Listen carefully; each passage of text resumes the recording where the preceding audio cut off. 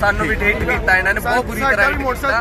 ਰੱਬ ਵੱਲੋਂ ਅਸੀਂ ਡਿੱਗੇ ਨਹੀਂ ਨਹੀਂ ਤਾਂ ਸਾਨੂੰ ਉੱਤੇ ਚੜਾ ਦੇਣੀ ਜਾਂ ਲੱਤ ਬਾਂਹ ਟੁੱਟ ਜਾਣੀ ਉਹ ਤੋਂ ਪਹਿਲਾਂ ਹੀ ਆਟੋ ਵਾਲੇ ਨੂੰ ਠੋਕਿਆ ਸਾਡੇ ਨਾਲ ਹੱਥੋਂ ਬਾਅਦ ਕਰਦਾ ਸਪੈਂਡਰ ਵਾਲੇ ਠੋਕਿਆ ਸਾਨੂੰ ਠੋਕਿਆ। ਆਪਾਂ ਲੰਮੇ ਬਣ ਚੌਂਕ ਪਿੱਛੇ ਹੋ ਗਏ ਤਾਂ ਅਸੀਂ ਇਹਦੇ ਪਿੱਛੇ ਤੱਕ ਆਏ ਕਿ ਇਹਨੂੰ ਫੜਨਾ ਜਾਵੇ। ਕੁੜੀ 'ਚ।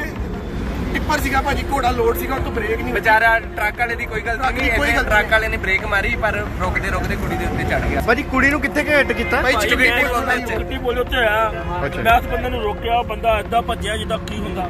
ਜਲੰਧਰ ਵਿੱਚ ਸ਼੍ਰੀਮਨ ਹਸਪਤਾਲ ਦੀ ਨਰਸ ਛੁੱਟੀ ਕਰਕੇ ਸਕੂਟਰੀ ਤੇ ਘਰ ਜਾ ਰਹੀ ਸੀ।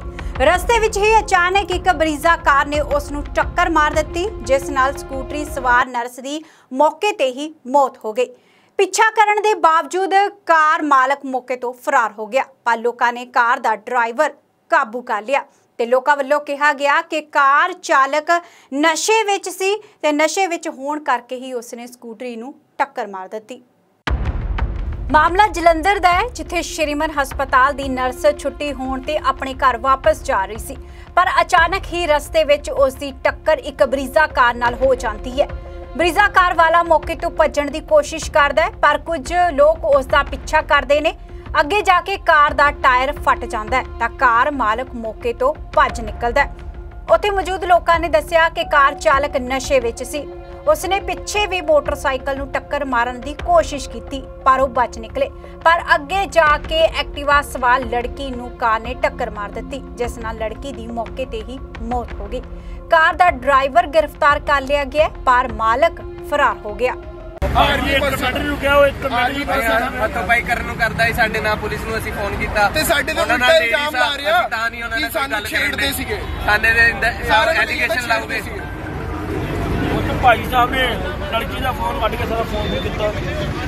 ਉਹਨਾਂ ਨੇ ਐਂਬੂਲੈਂਸ ਐਂਬੂਲੈਂਸ ਮੰਗਾਈ ਭਾਈ ਉਹਨਾਂ ਨੇ ਮੰਗਾਈ ਉਹ ਭਾਈ ਸਾਹਿਬ। ਚਲੋ ਲੜਕੀ ਨੂੰ ਕਿਹੜੇ ਹਸਪੀਟਲ ਲੈ ਕੇ ਗਏ? ਸ਼੍ਰੀਮਾਨ ਸ਼੍ਰੀਮਾਨ। ਲੈ ਕੇ। ਕੰਡੀਸ਼ਨ ਕ੍ਰਿਟੀਕਲ ਜਿਹੜਾ ਸਾਡਾ ਬੰਦਾ ਮੈਟਰੋ ਗਿਆ ਮੈਟਰੋ ਨਾਲ ਉਹਨਾਂ ਦਾ ਕੋਈ ਲੜਕੀ ਕੱਲੀ ਸੀ। ਭਾਈ ਲੜਕੀ ਕੱਲੀ ਸੀ ਭਾਈ ਲੜਕੀ ਕੱਲੀ ਸੀ। ਉਧਰ ਪੁਲਿਸ ਦਾ ਕਹਿਣਾ ਹੈ ਕਿ ਸਾਰਾ ਮਾਮਲਾ ਵੈਰੀਫਾਈ ਕਰਕੇ ਬਣਦੀ ਕਾਰਵਾਈ ਜਲਦ ਹੀ ਅਮਲ ਵਿੱਚ ਲਿਆਂਦੀ ਜਾਵੇਗੀ। ਜੇ ਤੁਹਾਨੂੰ ਦੱਸ ਦਈਏ ਕਿ ਕਾਰ ਤੇ ਆਰਮੀ ਦਾ ਸਟicker ਲੱਗਿਆ ਹੋਇਆ ਸੀ। ਇਸ ਲਈ ਲੋਕਾਂ ਨੇ ਪੁਲਿਸ ਨੂੰ ਸਵਾਲ ਵੀ ਕੀਤਾ ਕਿ ਇਹ ਗੱਡੀ ਆਰਮੀ ਵਾਲੇ ਦੀ ਹੈ ਤਾਂ ਪੁਲਿਸ ਵਾਲਿਆਂ ਨੇ ਕਿਹਾ ਕਿ ਇਸ ਦੀ ਵੀ ਜਾਂਚ ਕੀਤੀ ਜਾਵੇਗੀ। ਸਰ ਅਸੀਂ ਹੁਣ ਕਰਦੇ ਆ ਗੱਡੀ ਨੰਬਰ ਲਿਖਿਆ ਆ ਤੇ ਡਰਾਈਵਰ ਦਾ ਨਾਮ ਵੀ ਲਿਖਿਆ ਉਹ ਮੁੰਡੇ ਮੇਰੇ ਨਾਲ ਦੇ ਗੱਡੀ ਦੇ ਉੱਤੇ ਆਰਮੀ ਦਾ ਸਟicker ਲੱਗਾ ਆ ਕੀ ਆਰਮੀ ਮੈਨ ਦੀ ਗੱਡੀ ਆ। ਹਾਂਜੀ ਬਰੇਜ਼ਾ ਗੱਡੀ ਆ ਜੀ। ਗੱਡੀ ਦੇ ਉੱਤੇ ਆਰਮੀ ਦਾ ਸਟicker ਲੱਗਾ ਕਿ ਉਹ ਆਰਮੀ ਦੇ ਵਿੱਚ ਹੈ ਉਹ ਸਰ ਆਪਾਂ ਪਤਾ ਵੀ ਜਲੰਧਰ ਤੋਂ ਰਾਜੂ ਗੁਪਤਾ ਦੀ ਰਿਪੋਰਟ ਹਮਦਰਦ ਟੀਵੀ।